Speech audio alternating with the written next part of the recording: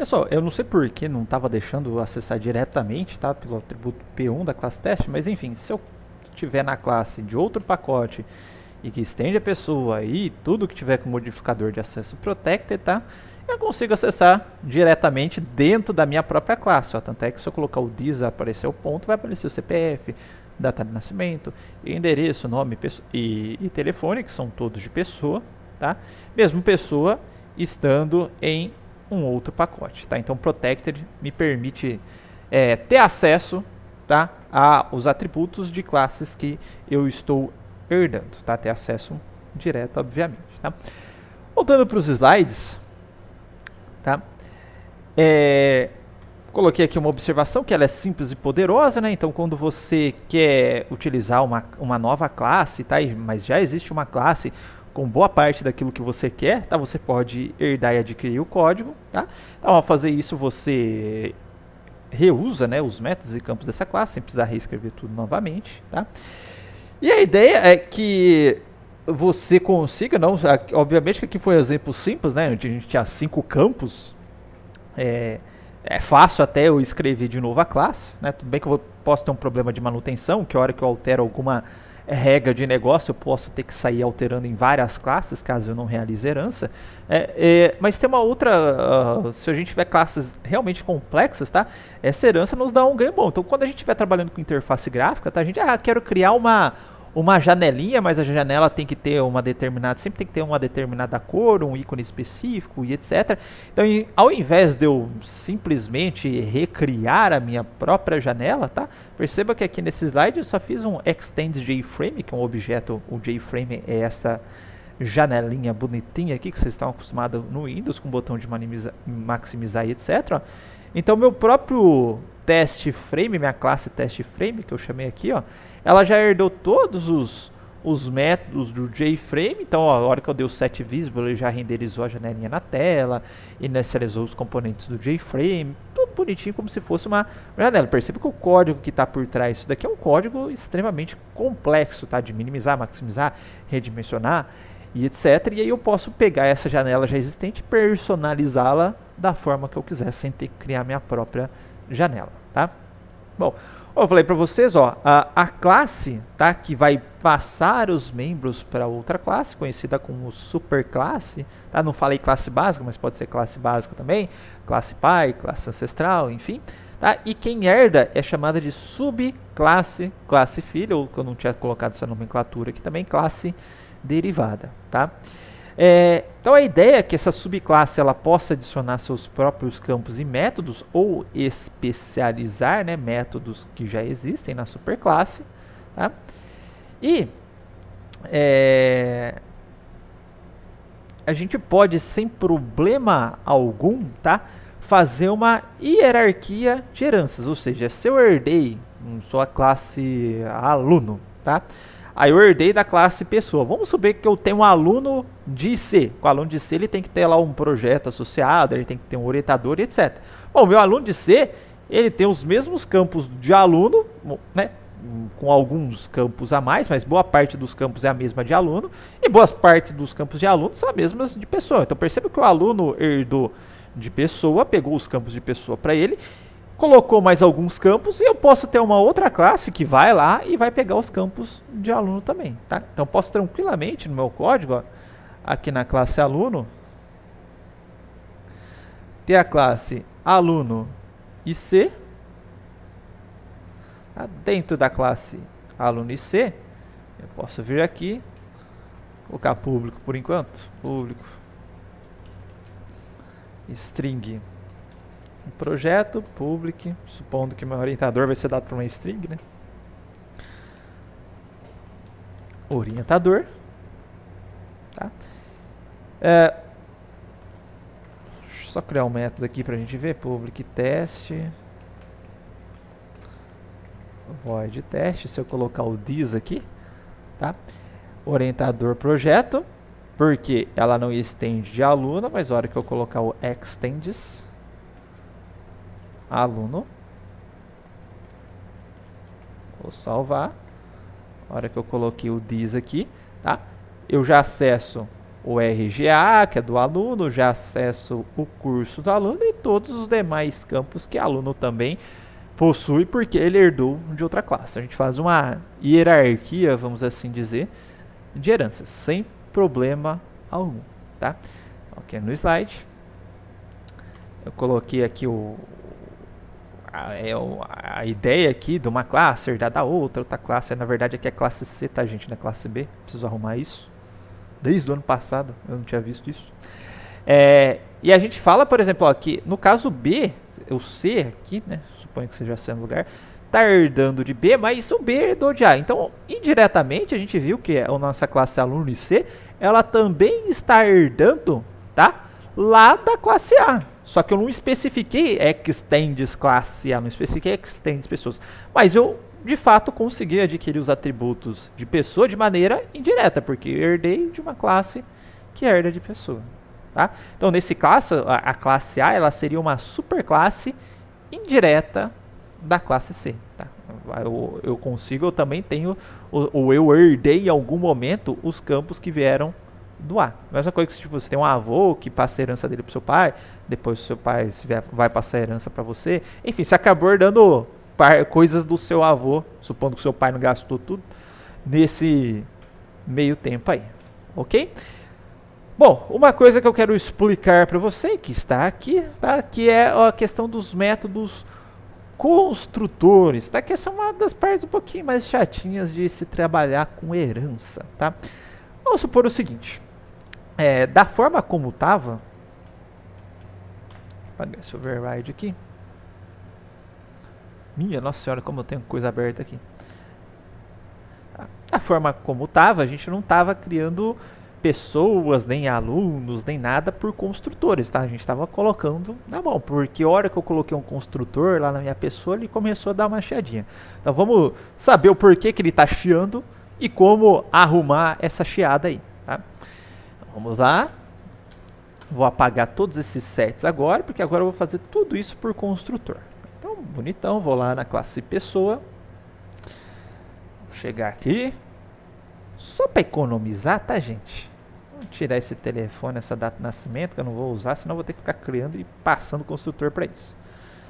Deixa eu apagar essa galera aqui de baixo.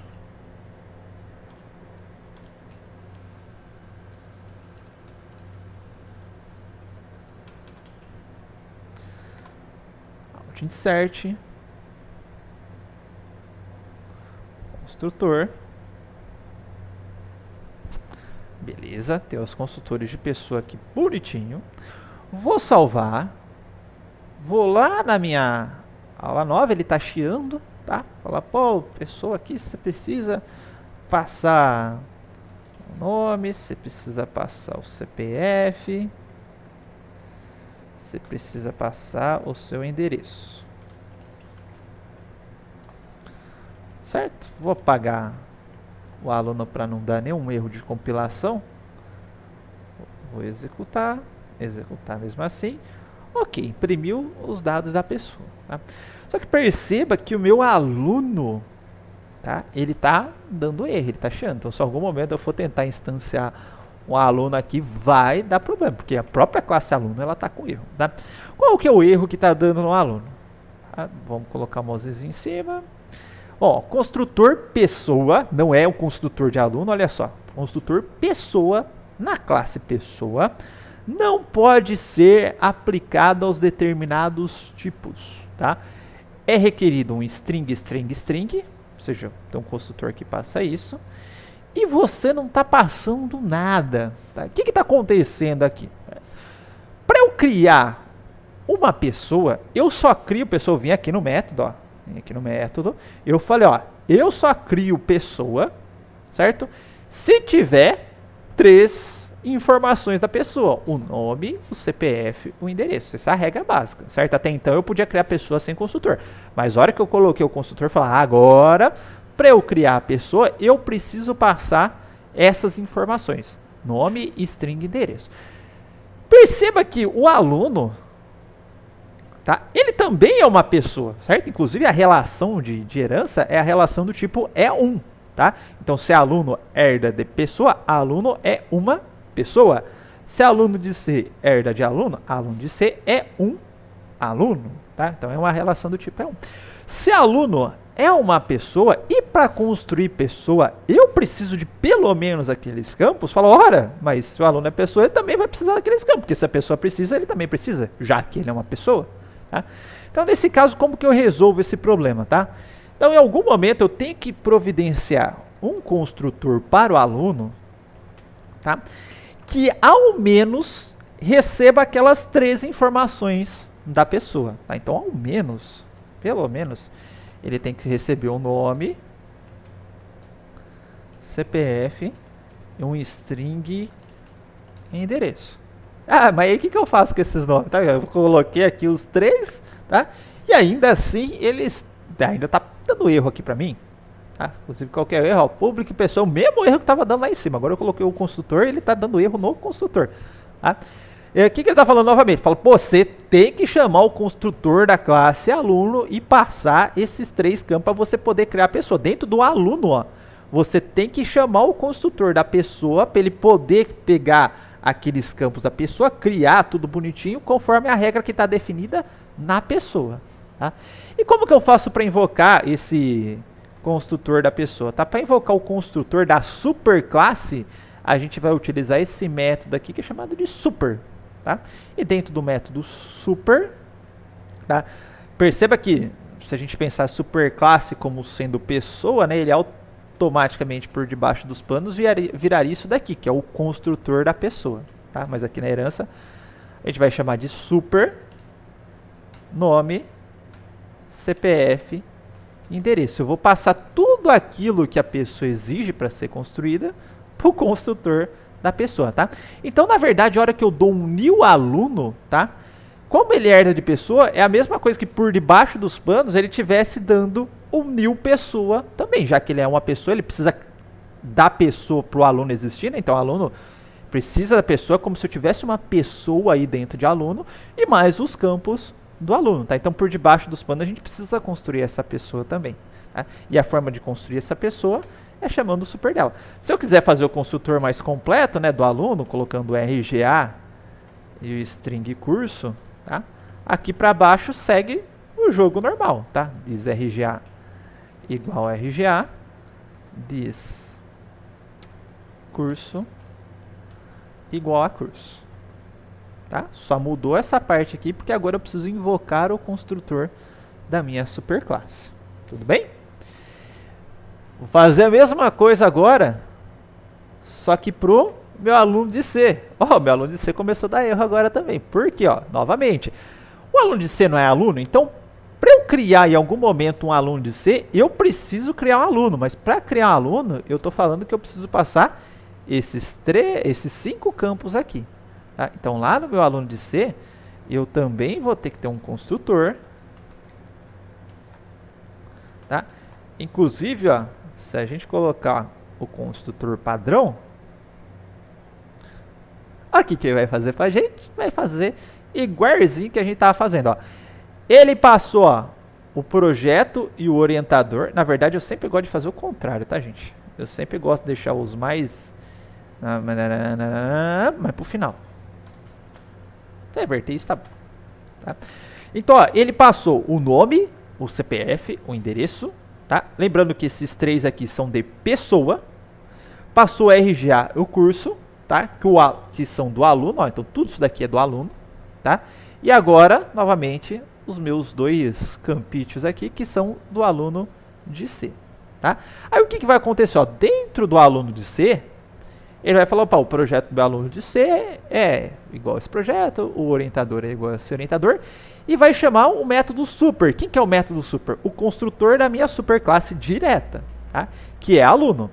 Aí ele vai chegar lá em aluno, falou, opa, o RGA do meu aluno é tal, o curso do meu aluno é tal, e vai chamar o construtor da classe pessoa, da superclasse direta. E aí vai passar o nome o CPF endereço. Aí vai chegar lá na minha pessoa e vai construir a pessoa com essas informações. Beleza?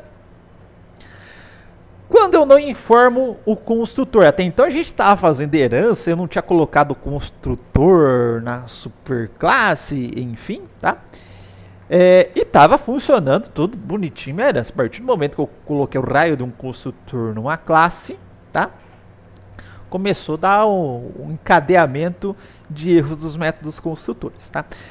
Bom, se a gente não falar nada, nada, nada, nada, nada, nada, lembra daquela história do construtor padrão do Java, tá? Que é a hora que eu não definia o construtor, a hora que eu dava um new objeto, eu passava um construtor em branco, o construtor padrão do Java lá, ele se virava sozinho, né? Definia os métodos padrão do atributo.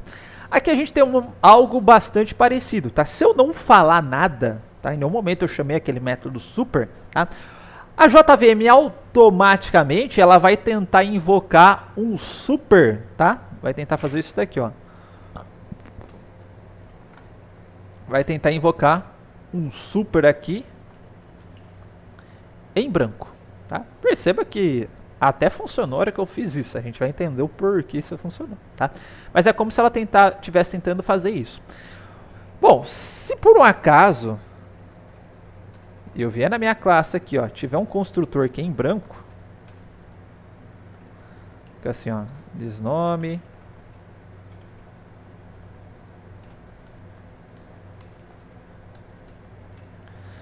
o diz CPF e o diz endereço. Se eu tiver esta situação,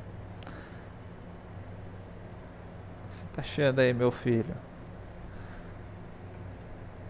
E agora, eu ocultar isso da minha classe aluno, tá? Inclusive, ó, eu não preciso mais nem passar isso daqui se eu quisesse, ó. Perceba que parou de dar erro no aluno, tá? Porque se eu não falar nada, ele vai tentar invocar automaticamente esse super. O que, que é o super? É o construtor da superclasse com o método padrão. Eu tenho esse construtor na minha superclasse sem argumento nenhum, que é esse cara aqui agora. Então, ele parou de dar erro. Inclusive, ó, se eu tirar até o método construtor do aluno, nem erro vai dar mais. Tá?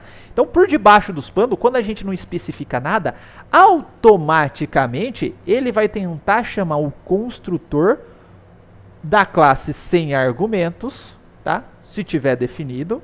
No caso aqui, ó, eu defini um consultor. E se eu não tiver definido nada, esse super da classe sem argumentos é aquele construtor padrão do Java, que vai inicializar automaticamente os campos. Ó. Tanto é que a hora que a minha classe pessoa ela não tem construtor, a minha classe aluno também não tem construtor, está funcionando normalmente. Mesmo que eu defina um construtor para minha classe aluno, tá? não vai dar erro algum, porque agora para criar minha pessoa eu não tenho obrigação nenhuma. Tá? Eu já tenho um, vou inicializar, eu estou considerando que inicializo ela com o método padrão do Java. Então aqui automaticamente, ou novamente, é como se ele estivesse fazendo isso por debaixo dos panos. Ele, essa linha ele vai inserir automaticamente se eu não informar um outro tipo de construtor aqui para ele chamar. Tudo bem, pessoal? A questão aí dos construtores, tá? Eu vou colocar construtor para todo mundo para ficar bonitinho, tá?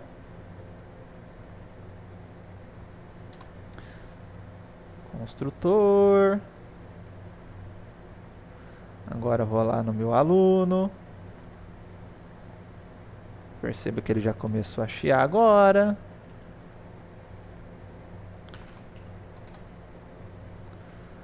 Construtor.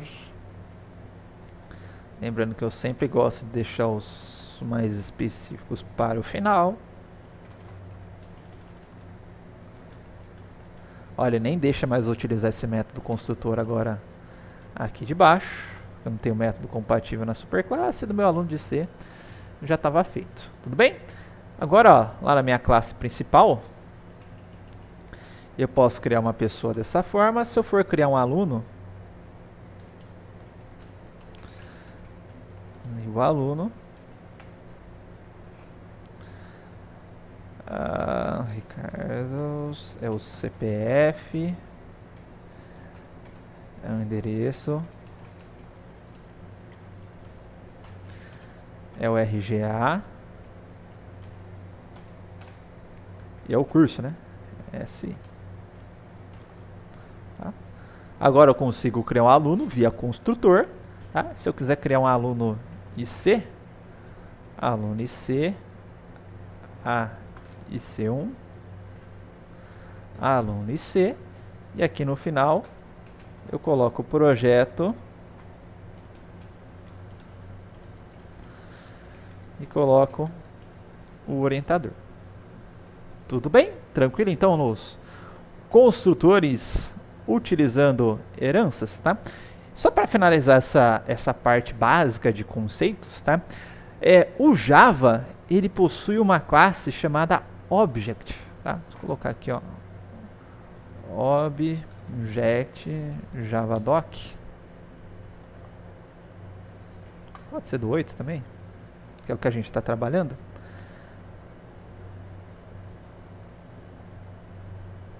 Não, Object. Esse daqui não, Objects. Classe Object. Deixa eu jogar minha câmera para cá. Perceba que essa classe Object, tá? Vamos colocar. Classe Object, a descrição dela, is the root of the class hierarchy, tá? É a raiz da hierarquia de classes, tá? Cada classe tem a classe Object como superclasse, tá?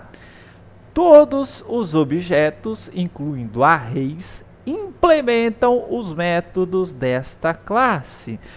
Vamos ver quais são os métodos dessa classe. Ó, clone, equal, finalizing, getClass, hashcode, notify, notify all, toString, wait, wait, wait. Tá, beleza.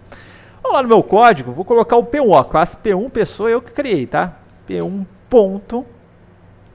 Vamos ver equals get class, hashcode, notify, notify all. Vamos voltar lá.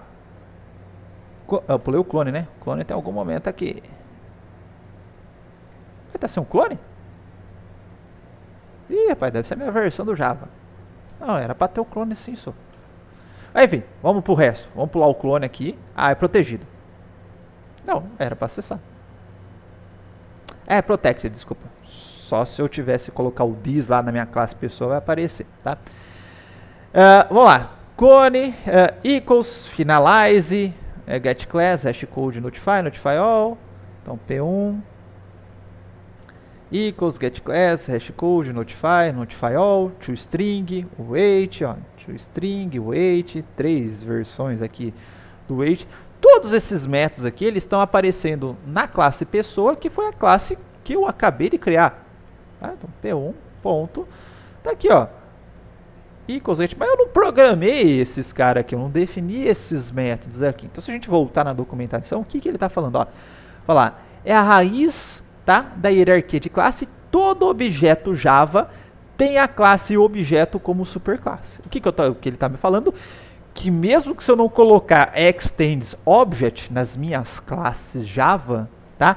Qualquer classe que eu criar e não tiver aquele extends, ele automaticamente ele vai herdar da classe object. Tá? Então, a hora que eu cheguei no meu aluno, ó, meu aluno não tem, meu, desculpa, minha pessoa, minha pessoa não tem extends. Tá? Então, ele já vai chegar lá e já vai colocar um extends object. Então, automaticamente, minha pessoa já vai ter todos aqueles uh, métodos da classe object. Tá?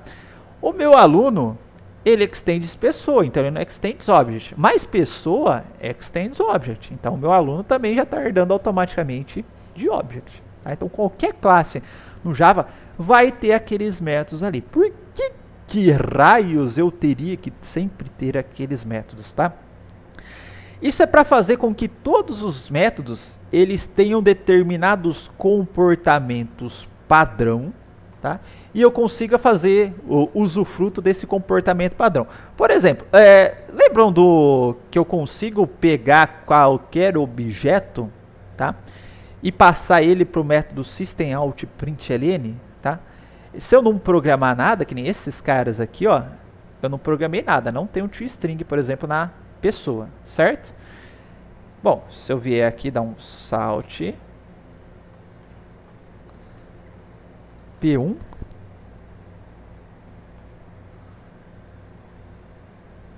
ele exibe esse valorzinho padrão. Se eu vier aqui na minha pessoa e colocar o alt insert, perceba que naqueles vários daqueles métodos lá, equals, hashcode, toString, inclusive ele já tem até uma facilidade de implementação no NetBeans. Coloquei essa saidinha padrão no NetBeans. Opa, desculpa.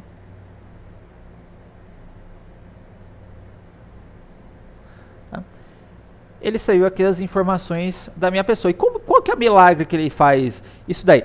Se todo mundo herda da classe Object, eu garanto que todo mundo vai ter um método toString, certo? Qualquer objeto vai ter um método toString, não importa que objeto seja. Tá? Pode ser objeto Papa, pode ser objeto coronavírus, pode ser qualquer coisa, ele vai ter o método toString. Então, toda vez que eu receber um objeto no método system.println, ele sempre vai invocar esse método toString, porque ele garante que todo objeto no Java tem aquele método. Tá? E isso vai valer para todos os outros métodos, tá? que a gente tem o equals, que é para comparar objeto. Obviamente, se você não implementar, vai ter uma implementação fuleira do Java para você padrão. Assim como no toString, ele tinha aquela implementação, ah, imprime endereço de memória aí. Você pode, obviamente, sobrescrever. Ah, inclusive, pegando o gancho, né? hora que eu vim aqui no pessoal, perceba que ele já colocou o override aqui para mim, ó, que eu estou sobrescrevendo o meta superclass, que é da classe object. Ok? Tá? Então ele vai garantir que todo objeto tem aquele método e aí dentro do Java, ou, operações padrão do Java, ele vai garantir que ele sempre vai conseguir chamar o toString de um objeto, não importa que objeto seja. Tá? Vai conseguir garantir que sempre todo método vai ter um hash code para você inserir esse método numa coleção hash, por exemplo, que a gente vai ver mais para frente. Tá? Então isso daí serve para garantir um comportamento padrão que todos os métodos tem, todas as classes elas tenham um conjunto de métodos é, semelhante, e isso a gente garante por meio, uma das formas que a gente tem de garantir é por meio da herança. Tá? Então o Java já obriga todo mundo a herdar da classe Object. Beleza? Então com isso eu termino esta primeira parte conceitual de herança. Tá? Depois a gente vai ver mais algumas é, questões teóricas de herança. Tem a, eu vou explicar um pouquinho melhor essa classe Object para vocês e a gente vai para o exercício e vamos incrementar o nosso projeto banco hoje. Beleza? Então, até mais.